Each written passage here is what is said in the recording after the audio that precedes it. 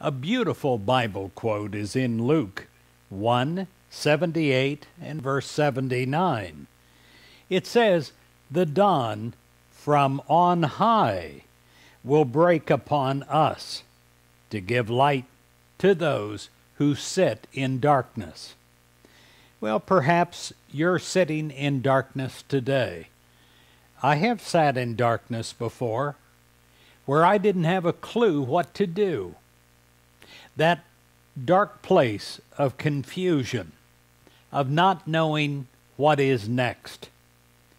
Well, some days you may feel that you have too many choices to choose from.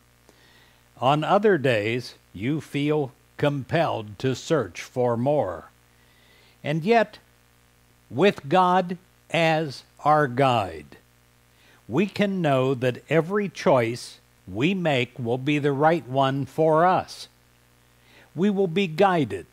We will be inspired by God and and motivated to go in the right way that we need to go. As we turn to God in prayer, we are turning to the absolute source of all wisdom and all intelligence. So, in this moment, we release our concern and fear for being right or being wrong, and we let God show us the path that is designed for us. We listen to God and we listen with all of our heart and with all of our soul. And as we listen in faith and acceptance, we are opening up ourselves to the kind of inspiration that we instinctively know is meant for us and is right for us. Now we will know what to do and because we know what to do, we'll do it with enthusiasm and with love.